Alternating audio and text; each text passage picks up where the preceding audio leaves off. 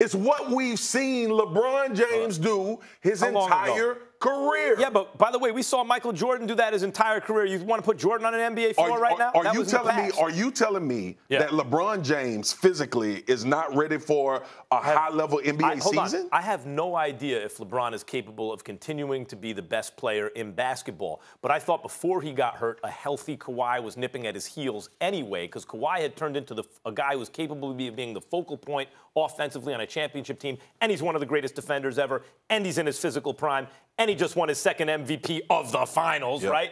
and he'll take the other team's best perimeter player, or even big, and shut them down, you know, every single night while he's giving you nearly 30 on the other end. By the way, efficiently and in crunch time, right? So I hear what you're saying about LeBron, but it's been a grip since he has been in the playoffs making a run. It was a couple seasons ago already, and he didn't win. He didn't have the crew to win, but okay, he didn't. We haven't seen LeBron as the last man standing in a minute now. And we haven't seen him in the playoffs. It'll be almost, by the time he makes the playoffs, two years since the last. So we don't know for sure. But we know for sure about Kawhi. That's a bad dude right now. And as of right now, you want to say it's because LeBron's been in exile, that Kawhi's got the chip? Fine. But Ka- Kawhi's got the chip. He's sitting on the throne right now. Right at this moment, he's the best player in the NBA. If you want to say LeBron will reclaim the throne, let me go see him do that. That's one. Two. Roster, you're right. Lakers got the best roster in the league. Roster doesn't mean team. The Clippers, with a, against a healthy KD-led Warriors team, fully loaded Warriors team, went six games, won 48 regular season games, and then won six against the Warriors, and then replaced Gallinari and Shai Gilgeous-Alexander with Kawhi Leonard and Paul George. By the way, they're coached by Doc Rivers. Think of the way the pieces fit now. If you have two attack dogs who can kill you on defense and score on the other side, uh, uh, and can get out in transition, do the whole thing, right? What kind of point guard you got? You need? You want a real dribble penetrator who monopolizes the ball? Nah. You need a guy to get those guys the ball who can play defense and shoot threes. I don't know, a guy like Patrick Beverley. How's your sixth man?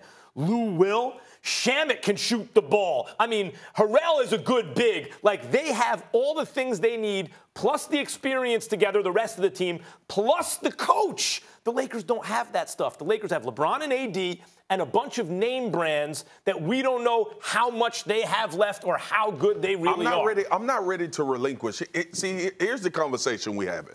I'm not relinquishing the throne from LeBron James because LeBron James has done more for his basketball team than any other player in the league. Mm-hmm. Any True other player Not in the the story. league. Lakers, but for teams. for yeah. a team, Yes. period. Mm-hmm. So when we start talking about how how does I understand where you're coming from when you say Kawhi Leonard right now as it stands, you can look at him as the best player in basketball.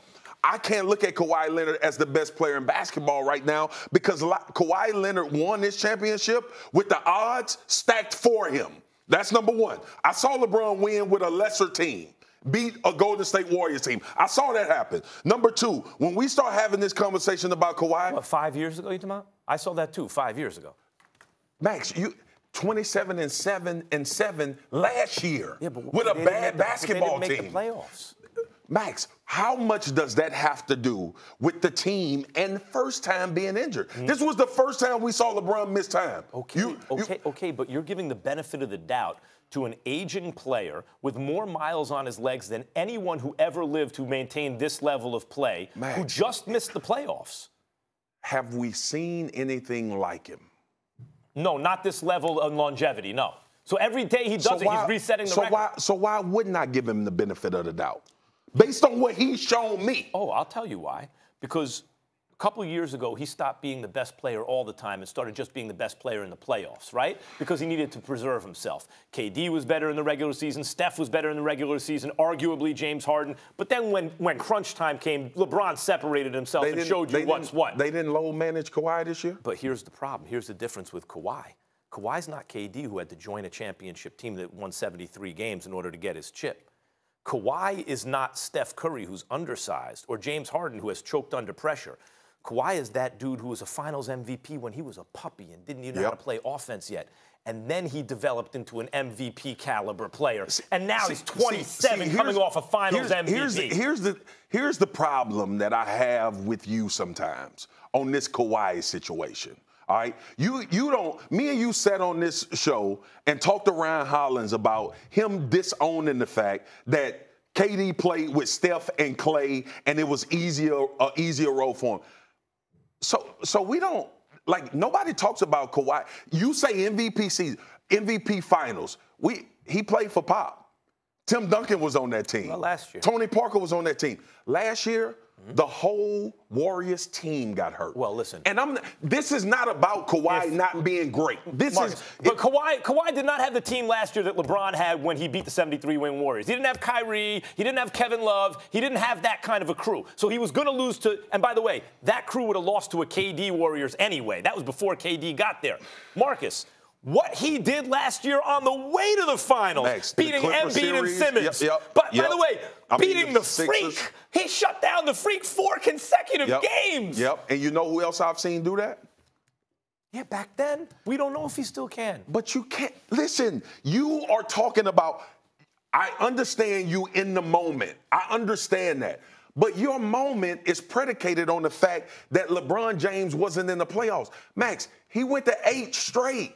He went to eight straight, and he averaged almost a 30 we- piece, look, seven look. and seven. Wait, wait, Like wait. we- if you're saying who is going to go down in history as the greater player, it's a no contest. LeBron James greater than Kawhi Leonard. you- I'm not right now. right now, A 27-year-old to a 34-year-old. I'm here right now telling you that this is based off of your recent history. I'm not ready to say LeBron isn't the best player in the NBA. I'm not ready to say that That's right right. now. Thanks for watching ESPN on YouTube. For more sports highlights and analysis, be sure to download the ESPN app. And for live streaming sports and premium content, subscribe to ESPN Plus.